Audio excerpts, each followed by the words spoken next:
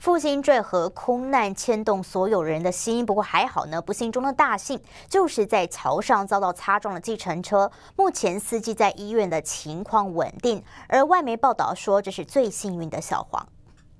遭复兴航空撞击的计程车，车头面目全非，司机全身扎满碎玻璃。但事故当下，司机马上向车行回报，希望叫救护车，也帮助车上乘客。呃，我是一零九八，我刚上完州哦，接到我们的客人上完州，走走上来之后，那个一台飞机飞过来砸到我，遥控飞机啊，我整个车子都烂掉了。遥控飞机的，不是遥控飞机，是有人驾驶的小型飞机。啊，有人伤亡吗？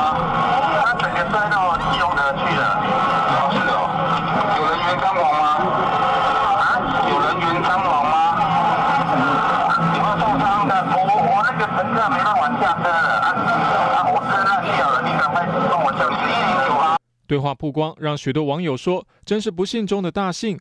而英国《镜报》以“复航 G 一二三五的奇迹，世界上最幸运的小黄”为标题报道这则新闻。新唐尔泰电视整理报道。